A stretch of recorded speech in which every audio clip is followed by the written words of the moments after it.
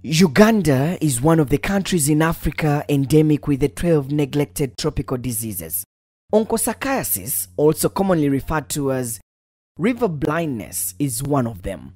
Over 2 million Ugandans are currently infected with the disease, and about 3 million people at the risk of contracting it. This disease is epidemic in 37 of the 112 districts in Uganda, although districts in western Uganda are most affected. In the early 90s, there was a strange disease that left many people in Masindi district, located in western Uganda, blind. This disease often attacked communities living near or inside forests and water sources. The victims are sent into an excruciating pain skin rash that keeps them scratching their bodies for a better part of the day. This disease is called onchocerciasis. Obu nawe amaizi gakwokya kinsiira kimai kunagira. Kwesweka ebulangiti nkatagata mukiro kintu kindi ebu nsakwekakura hai mubiri kukoraki ngukakura tugambe nigujwa musaayi nibo nempuura ngu kasingesinge River blindness is transmitted through bites from the black fly. Often these flies breed from the river and forested places, which perhaps explains why the two communities were the most affected. In fact, out of the 82 villages in Pakanyi sub-county in Masindi district, 80 villages had people nursing the pain of river blindness. As a means of fighting the disease, the government of Uganda launched the vector control program through aerial spraying to kill and reduce on the number of black flies. The, the aerial spraying was a one-off um, at the height of uh, the nodding syndrome disease because we realized that the nodding syndrome was majorly in these areas where they are highly endemic for onchocerciasis. And because at that time one of our hypotheses was whether onchocerciasis could actually be a cause for the nodding syndrome, we agreed that we needed to tackle this. And so there was aerial spraying using uh, special aircrafts that are designed for the spraying. But that strategy could only go so far as the black flies reproduced and returned to further haunt the communities. In 2007, government launched the Onchocerciasis Elimination Program, which was aimed at completely wiping out the disease in the 36 districts affected by the problem. Their first step was to identify the affected places. The teams completed mapping of these neglected tropical diseases to know exactly the geographical regions where they are, the people that they affect. And uh, then we instituted what we call mass drug administration that we give to these populations on a biannual basis. And the coverage has been quite good. It built up capacity from a low level, and now we are almost at uh, 85% uh, mass drug administration coverage. The mass drug administration coverage was anchored on a strong team of the village health teams with supervision and training from the officials from the Ministry of Health. Meet Matatu Hadija, the onchocerciasis parish supervisor for Pakanyi sub-county in Masindi district. She was one of the people trained by the ministry about prevention and control of river blindness in the district. My work is to train the VHT, to mobilize community, to create community awareness about onco, to supervise them, to cancel where possible. I find where possible the VHT find problem like eh, defaulters, maybe refusals and whatever, how to come up and to increase the coverage. Today she's visiting the different homes in the sub-county to identify any member of the community who could present any symptoms of the disease. Experience of over 5 years in the exercise directs her to an eye check for any symptoms. It is a routine that is done to every member of the family lest some of them are left out. Those found with any symptoms are directed to a health center for proper diagnosis before started on treatment. The treatment is biannual in nature, with those affected started on ivermectin. Okay.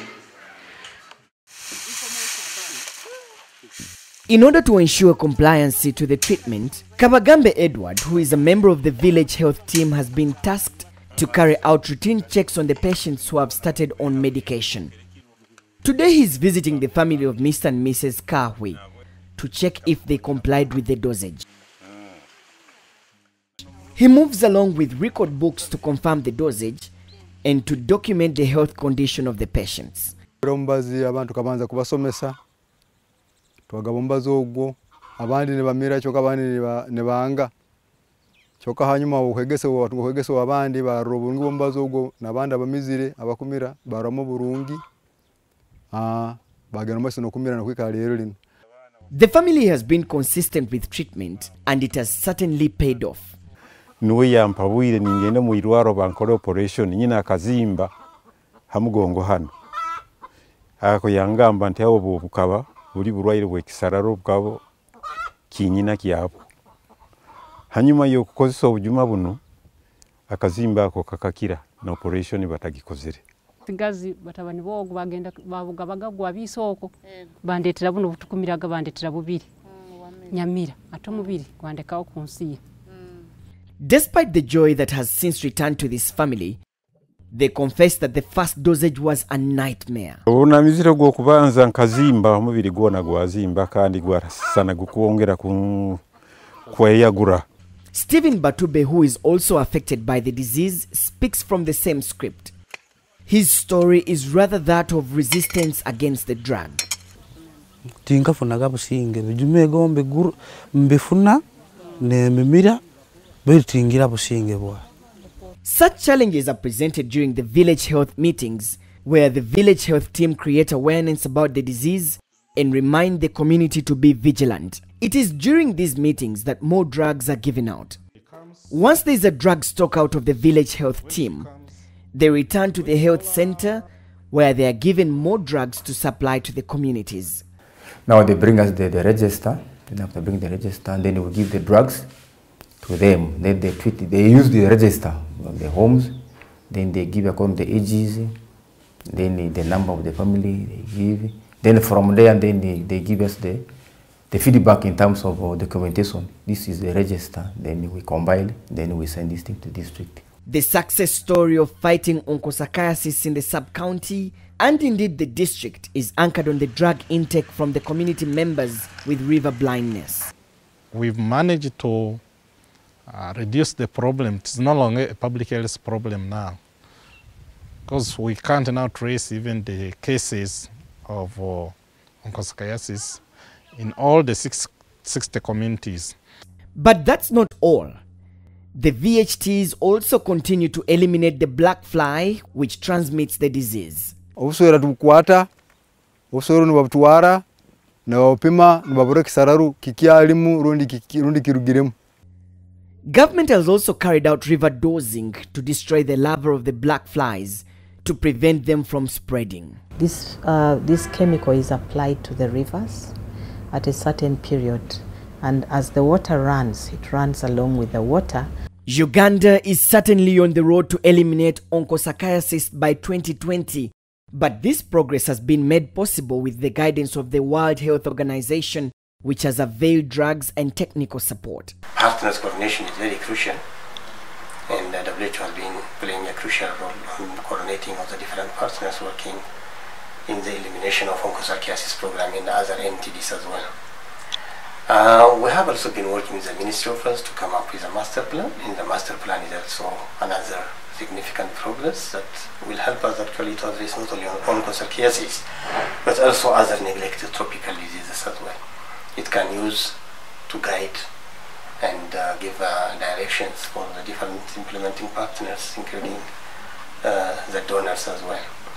The African Program for Onchocerciasis Control, APOC, which is at the center of the onchocerciasis control in Africa, has offered great support to the efforts to eliminate river blindness. Other partners include the Carter Center, which has offered financial and technical support, and the Sight Savers International for Onchocerciasis and Trachoma Control.